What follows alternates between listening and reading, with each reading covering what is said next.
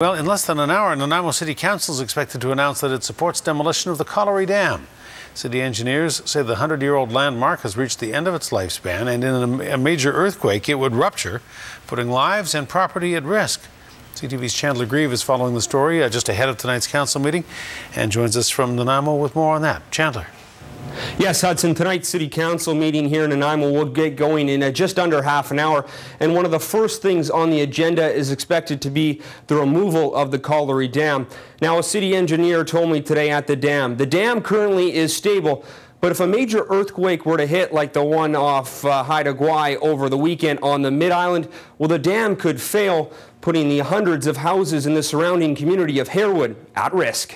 They'd be in a, a, fair bit of trouble, and, and I think that's part of the, uh, the intent of the messaging that will be in front of council tonight, and that will be delivered door to door in the residents in the immediately affected area. Just in the, the, uh, the very unlikely chance that there's an earthquake between now and the time we can remove the dams, residents will have an idea of how to evacuate, where to evacuate, and where to go. The City Council was presented with three options, including restoration and replacement.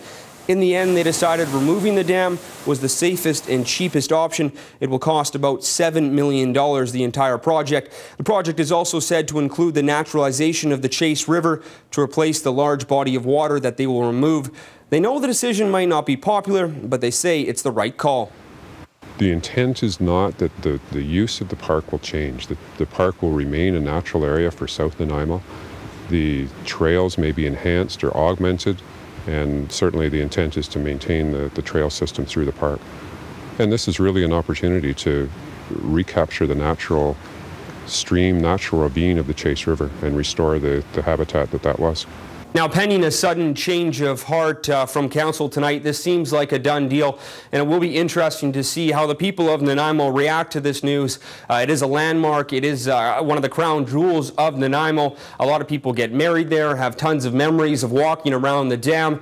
But uh, city and councilors say that it's uh, an upgrade that simply is long overdue, and they have to do it. Hudson? All right, Chandler Grieve in Nanaimo, and we'll watch the council decision on that. Thank you.